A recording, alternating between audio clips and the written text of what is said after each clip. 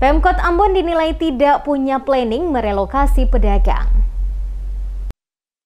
Pembangunan puluhan lapak di sepanjang trotoar jalan masuk menuju Terminal A1 Mardika mendapat sorotan keras dari DPRD Kota Ambon lewat Wakil Ketua Komisi 2 Hari Putra Farfar. Karena pemerintah Kota Ambon lewat Dinas Perindustrian dan Perdagangan dinilai tidak mempunyai perencanaan dalam relokasi pedagang Pasar Mardika. Penegasan ini disampaikan Hari Putra Farfar menyikapi dibangunnya puluhan lapak di atas trotoar pada sepanjang jalan masuk menuju Terminal A1 Mardika tanpa ada koordinasi antara Disperindak dan Dinas Perhubungan Kota Ambon sehingga berdampak akan terjadi kemacetan. Menurutnya kemacetan akan terjadi karena jalur jalan yang seharusnya diperuntukkan bagi para pejalan kaki digunakan untuk membangun lapak pedagang. Sementara di sisi lain pembangunan itu tidak diketahui oleh Dinas Perhubungan setempat yang mempunyai kewenangan atas jalur jalan tersebut. Dengan demikian maka dapat disimpulkan bahwa sejauh ini pemerintah Kota Ambon dinyatakan tidak memiliki kesiapan yang matang dalam merelokasi para pedagang yang berdampak atas renovasi pembangunan Pasar Mardika. Mengingat para pedagang saat ini banyak ditampung pada lokasi-lokasi yang seharusnya bukan tempat untuk berjualan,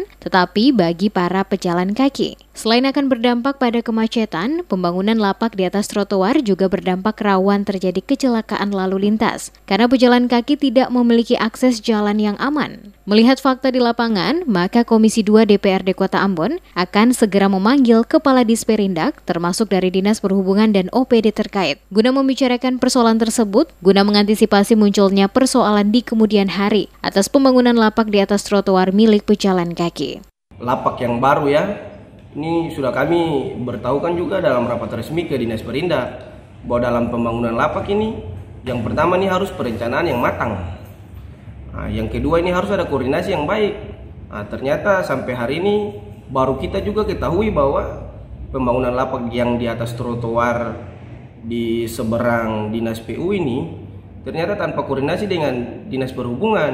Nah, ini yang mana kan indikasinya nanti Eh, dalam implikasinya nanti pasti menimbulkan lebih banyak kemacetan apalagi status jalan itu merupakan akses masuk ke terminal ini yang sudah terus-terus kami dari komisi stressing ke OPD namun ternyata memang dalam proses revitalisasi pasar Merdeka ini eh, menjadi jawaban bahwa yang pertama pemerintah kota Ambon ini tidak siap yang kedua tidak serius yang ketiga tidak ada perencanaan yang baik Selain menyoroti lokasi pembangunan lapak yang tidak sesuai, Hari Farfar juga meminta pemerintah kota Ambon lewat Dinas Perindak untuk tidak sepenuhnya menyerahkan kewenangan kepada para pengembang dalam menentukan harga lapak yang disewakan kepada para pedagang. Mengingat fakta di lapangan, banyak pedagang yang mengeluhkan tinggi harga sewa lapak yang dibebankan kepada mereka. Sementara di sisi lain penghasilan yang mereka dapatkan belum tentu mencukupi untuk menutupi biaya sewa lapak yang begitu tinggi.